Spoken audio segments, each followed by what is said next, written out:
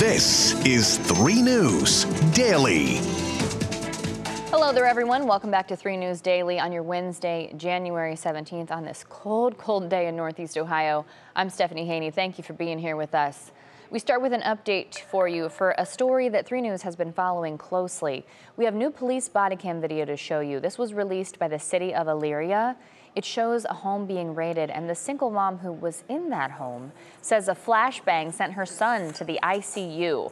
In the video, you see here Elyria police going up to the home where 25-year-old Courtney Paige was inside with her 17-month-old son. You can clearly see police throw the flashbang and the window breaking.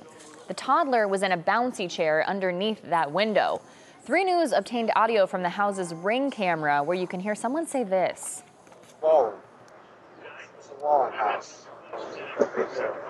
Turns out the names on the police's search warrant did not match the names of the people who actually live in the house. Those people are Paige's aunt and uncle. Paige says she was in town getting health care for her son, and her son was badly hurt by the flashbang. My son wasn't crying in the video they sent me, and like in that moment, he was okay. But it's the effects that they've left him with. Now, to clear up the confusion surrounding this case, sheriff's deputies have been asked to investigate, and the mayor has requested an external investigation. Now, in Canton, several agencies say they busted a human trafficking operation. The sting happened last week in Green and Jackson Township. The Ohio State Highway Patrol says that the undercover operation led to 16 arrests and helped save four potential human trafficking victims. Troopers say charges are pending while the cases are investigated and that the potential victims have been provided with medical care and victim advocates. Now we have an update for you on the case against Shoregate Towers Apartments in Willowick. That's where a parking garage collapsed last August. The building's owners, Lema Getachew and Gannett Indoli, were found guilty of building code violations. The judge sentenced them to three years of probation, suspending their jail time, and ordering them to each pay $3,000 in fines. Now, the Haslam family has sold its remaining 20% share of Pilot Travel Centers to Warren Buffett's Berkshire Hathaway. This is after Browns owner Jimmy Haslam agreed to settle in court last week over the value of the family's remaining stake in the Pilot Flying J company. Haslam sued Buffett in October, claiming that his company tried to devalue the remaining stake in Pilot that had not yet been sold to Buffett.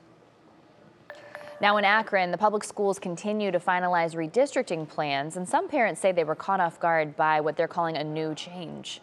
District officials say students at Akron STEM High School will all be moving to East CLC in the fall for the new school year. Parents say they were told two months ago that students would be able to stay in that building, but last week they were told this update. Currently, the district leases the building from the University of Akron, but that lease is up at the end of this school year, and district officials now say they can't afford to stay in the building. There are a lot of things and logistics that would have to go into this that we would not be able to do um, from a fiscal perspective over time. Now, at a community meeting last night, parents of the students that go to Akron STEM High School voiced their concerns. They say they're worried about safety following violent incidents at East CLC last year and also transportation for the students. The superintendent says the two student populations would be kept separate.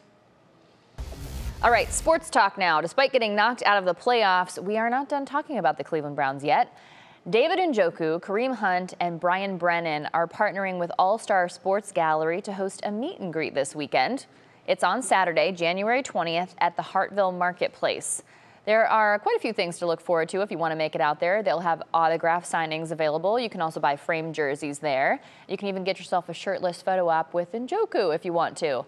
That'll cost you a pretty penny though, 150 bucks for that one. The next meet and greet at Hartville Marketplace is coming up on February 3rd, so this is not a one-time deal, but there will be different players there. There'll be Grant Delpit, Sione Takitaki, and Alex Wright. If you want more information on that, including some of the other things you can get there, head to WKYC.com. Now, we do have to celebrate the person who made the season, at least what it was for the last half of the season. A school district is celebrating our Browns. Listen to this.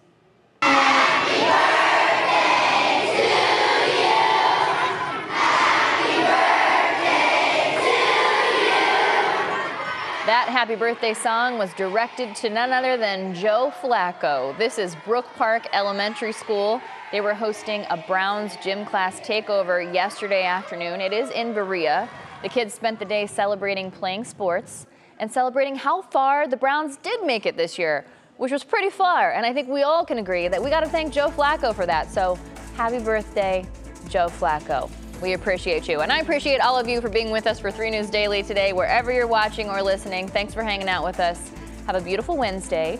Please stay warm. It is very cold out there, and we'll see you back here tomorrow with more of your top stories from around Northeast Ohio.